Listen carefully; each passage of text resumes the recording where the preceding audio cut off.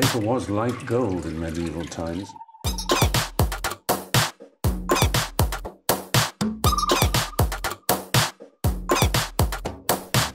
Oh, not tobacco, sugar. That everything we thought we knew about the world might turn out to be completely wrong.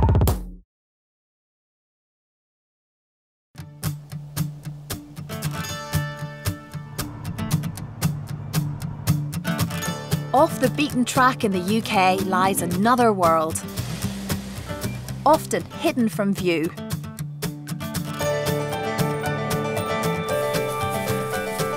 Brimming with secret histories and lively traditions. I'm Christine Bleakley, and in this series, I'll be heading away from the motorways and winding my way down ancient routes. Oh, no, no, no, no, no, you don't need to prove a point. That's it.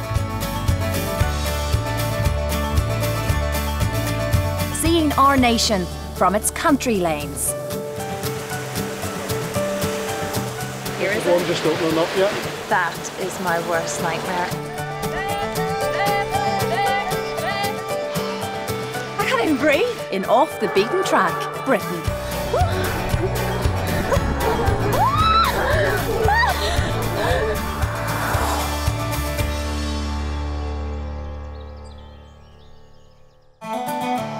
Today, I'm exploring the back roads of Herefordshire in the west of England, largely a working landscape which is heavily farmed, so it's sometimes not that easy to get around. This is a proper country road, isn't it? And I hear the locals quite like it that way. Last year, Herefordshire celebrated the M50's 50th anniversary. It was one of the first motorways built in the country. Having said that, Herefordshire haven't built another since, as you can see. It means that the rest of it is just this tangle of A roads and B roads and beautiful little winding country roads like this one. It's created a slower pace of life, a world steeped in tradition. But are the old ways best? I'm here to find out. First sign that Herefordshire is a county still very much in love with its past is the sight of its black and white villages. Some of these houses here date back to the 16th, 17th century. They're all timber framed. And you really get a sense of the history as you're driving through here. There's no mock Tudor here. This is the real McCoy. Perhaps one reason there are lots of timber framed houses in Herefordshire is because, well, there are lots of trees. In fact, the county is recognised as having some of the most important ancient woods in England, with some trees over 600 years old.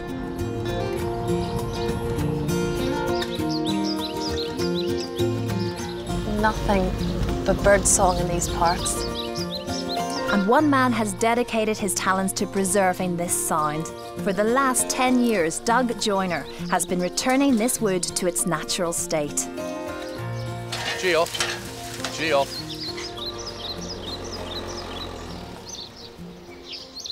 Morning. Hello, good morning, Doug. How are you? Very well, thank you. Lovely to Yeah. see you. What a beautiful place you Good. have here. It's good. Oh, it's beautiful. Listening to the birds. That's a real novelty for me. It's gorgeous. And who's this? This is Ella. Oh, Ella. It may be beautiful here, but an evil lurks in these woods that blocks the growth of native plants and which Doug, his trusty steed Ella, and their canine sidekicks are dedicated to fighting. Bracken, a fast growing fern which outcompetes its rivals. Herefordshire is a very fertile soil, um, but like everywhere, um, bracken is, is, a, is a real problem. Uh-huh. It's starting to take over. It shades everything out. Yeah. If you cut it, it knows it's cut and it coppices, just like a hazel Fights back, basically. Yeah, so it's Yeah. worse. Uh, whereas what we do is we roll it and crush it. What are we going to do today? I'm going to see Ella in action, am We're, I, g- we're we're gonna work. Um, we're controlling the bracken. Okay, okay. So, after a short period of bonding with the team, You just want a lot of love, don't you? You do, you love it. we all set to work.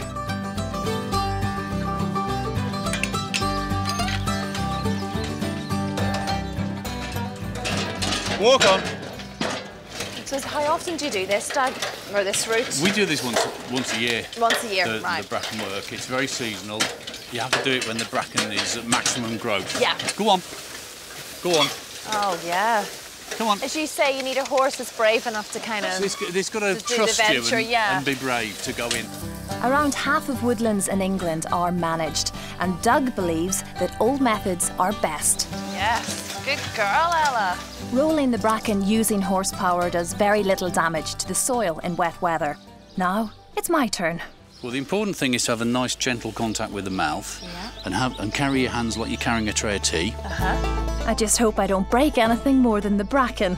And you've got to not walk into the bracken basher or in front of it. That's a- useful, that's yeah. a good, good bit of advice. Walk on, and then a little bit of right. That's, that's lovely. Walk on, Well done, Ella. and then go left now. Come here, come here. Here. Come here, Ella. Come here. It's a Northern Irish accent. She doesn't get. Come here. Come here. Come here, Get Ella. on. There you go. Good girl, Ella. Job done. Well done. That's it. Whoa. Good girl, Ella. Oh, that's fantastic. Every six inches there'll be a bruise, and every one of those bruises leaks out sap, and the sap then it drains all the food from the root. It can't thrive and it can't restore the food into the root for the winter, so it comes back very much weakened.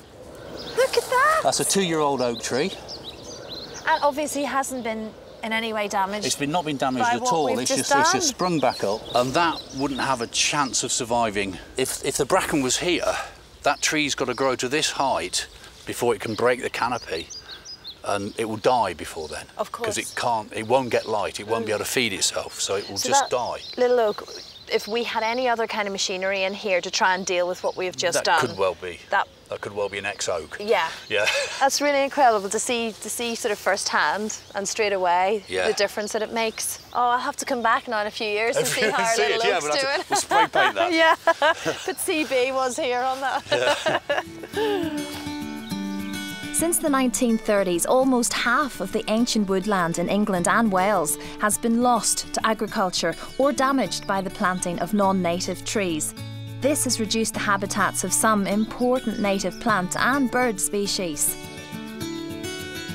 This was an undermanaged and neglected wood.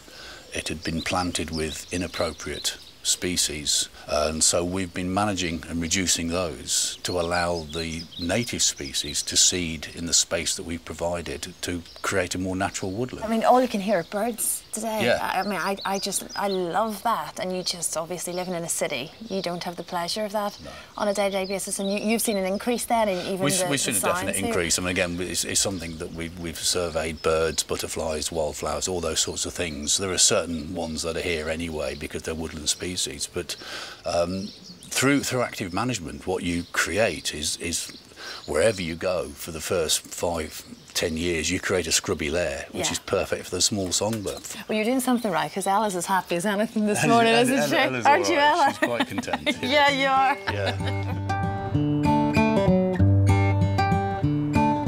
It's not just those who work in Herefordshire who embrace tradition. I've heard that some of those who play here too prefer things the old fashioned way. Meandering through Herefordshire is the River Wye, all 134 miles of it. And I'm heading now to where it forms part of the western border with neighbouring Wales. The Wye is a wide and shallow river with a rocky bottom, so it doesn't take much sunshine to warm it up. Which means generations of locals have flocked here for a spot of wild swimming. It's so good, in fact, that 60 year old Barbara Luthwaite relocated here 11,000 miles from New Zealand. All these other guys are going swimming too. She runs a campsite next to its waters, and I'm here to meet her. So, Barbara, you've come originally from New Zealand, mm-hmm. but you've decided that this is the place you want to be. I've got to ask you why. The why. I was looking for somewhere with enough water to swim and boat, and I kept being drawn back to to the Wye River, and you can see how lovely it is. And, you'd have to be daft not to want to be here. No, of course, it's, it's absolutely glorious. How far have you managed to swim on the river here then? Two Septembers ago, I started at the source and I swam 70 miles in seven days. That's amazing. Down to Monnington Falls. Oh my gosh, that's fabulous. Well done. But I was telling people it was turning into the Wye crawl rather than the Wye swim because the river was quite shallow in parts. Yeah. I'm not the most confident of swimmers, but the sun is shining and I'm told the river is warm. Suddenly got really busy. Everyone's listening to Barbara's advice and wanting to take a dip.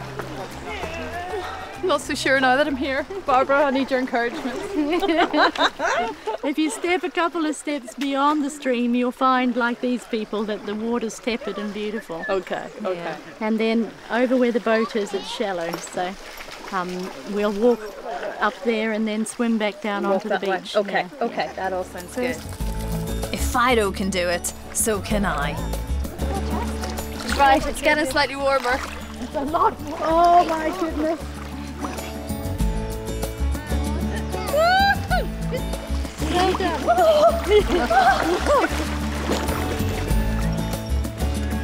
Wild swimming has enjoyed a boon in popularity in Britain in the past five years. Perhaps because our rivers are cleaner now than they've been at any time for more than a century. It's best to come in the afternoon when the sun's been warming the water all day, and I have to admit, it's exhilarating. After a rather wimpish start for me. Once you're in, it's so lovely, Barbara, gotta say. It's beautiful. It's relaxing. Yeah. I can see you relaxing. I tense myself up, you see, and that's the worst thing you can do. I'm like that in the warmest of swimming pools, so, you know. Of course, you should only swim in our country's rivers under the supervision of an expert like Barbara. I'd like it if everyone in Britain felt comfortable in the water. And I think that's the safest thing too. If everybody's used to it, then it's not a big surprise. Obviously, swollen rivers, fast currents, places where it's particularly rocky, you don't go jumping in willy nilly. I've had a, a lifetime of being in and out of the water. That experience, that build up of experience, it'll keep you safe in the long run. Well, you've got me hooked. After about 20 minutes, I'm in.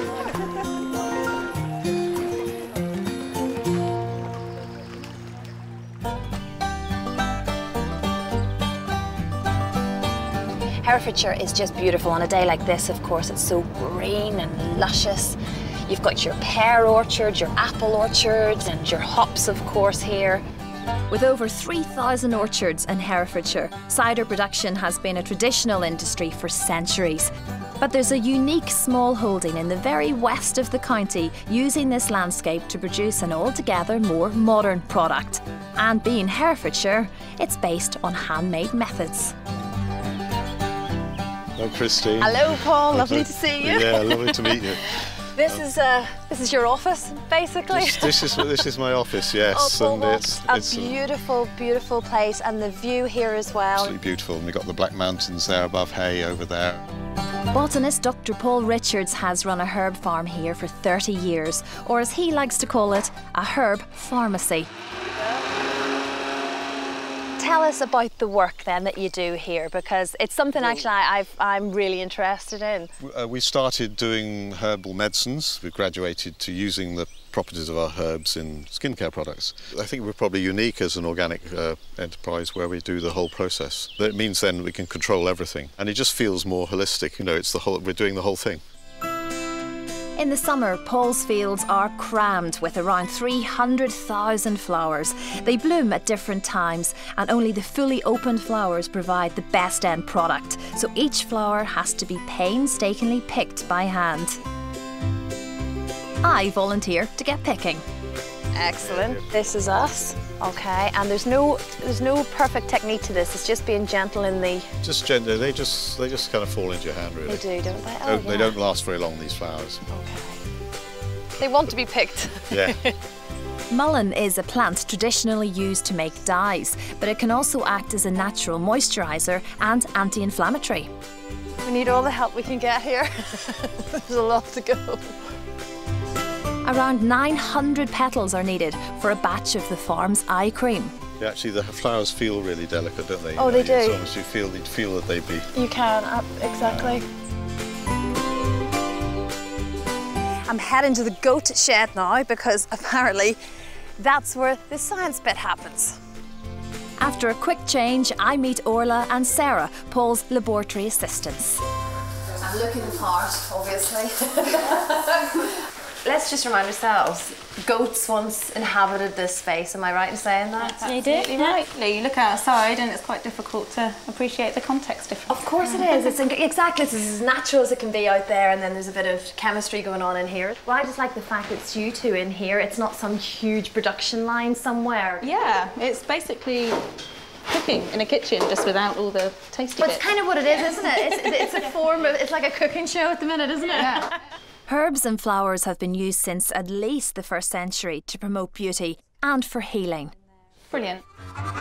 To make this herbal eye cream, the petals are infused in oil. Then we add some vitamin E, a dose of evening primrose oil,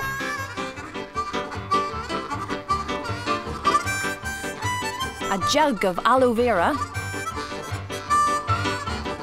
and some Siberian ginseng.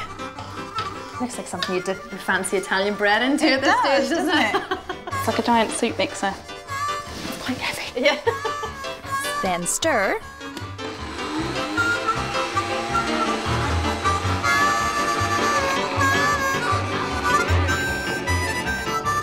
And voila, a pan of herbal eye cream.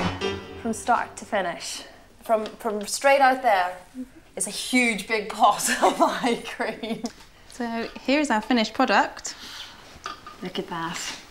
All this goodness in this huge big pot ends up in this pretty little bottle.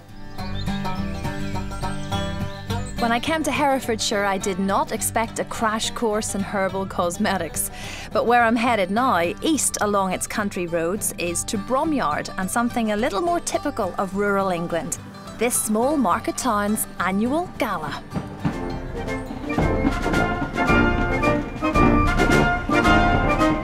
Just the whole fun of, of putting a float together, the children drawing on cardboard plates to stick on the side. I used to do a float and you make such good friends.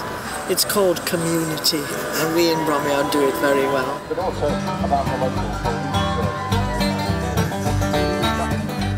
There are over 60 county shows in the UK, the oldest established over 200 years ago to help farmers promote agriculture. But they soon became a part of cultural life, and while the business side still happens, mostly now it's about having a rip roaring good time. But the gala looked very different a year ago. There were no paying visitors, and these fields looked more like a lake. Over a month's worth of rain was forecast to fall in two days, and guess what? It did. This was a complete washout. The gala had to be cancelled, and in fact, his whole future was hanging in the balance at that point. So it's incredible to see it today. It's sunny, it's really busy, and the people here are just loving it. Bromyard Gala is charmingly old fashioned and seems to bring together what is best about Herefordshire. Just making it very clear, this is a country pursuit. And what could be more nostalgic and charming than a jamboree of vintage transport? From steam engines to classic motorbikes. I love this. There's a few push bikes in here as well. This little one here is like my very first bike. I was about this little girl's age when mine was blue. The gala is known as one of the best vintage get togethers on the circuit. You'll see no monster trucks here, but you might find the odd 15 ton traction engine, which is monster enough for me. Richard, I've got to ask, how did you acquire this magnificent beast of a thing? Uh, well, it didn't look like this when I required it. It was, um, it's come back from Tasmania actually. Really? Mm, Built in, in the UK, in, in Cheshire, Sandbach. It was about 1907. It was. Uh, it arrived at our place on uh, two lorries and 12 pallets. And what kind of reactions do you get when you bring it to, to galas like this or, you know, taking it out at all? Most people say, "Ah, look at the size of those wheels. Do they all come along and do that? yeah, yeah. yeah. I want a pound for every photograph, you know. uh, yeah, yeah, yeah. Of Yeah, I am allowed to have a little. Of course you got. Yeah, Let's do it, let's do it. Okay. And away it goes. Oh, wow. After the briefest of instructions, Richard lets me behind the wheel. And it was off to the main arena to test my steering abilities in a parade.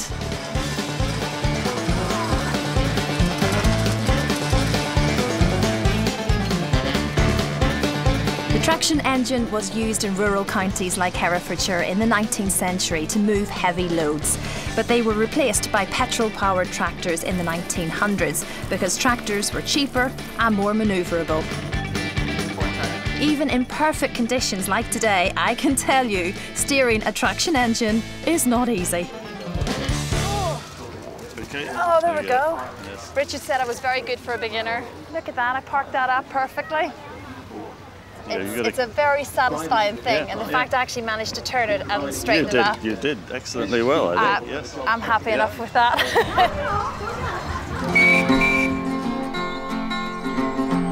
What's clear from my time in Herefordshire is that the county wears its love of tradition proudly on its sleeve and manages to make being old fashioned feel like it might be the way forward.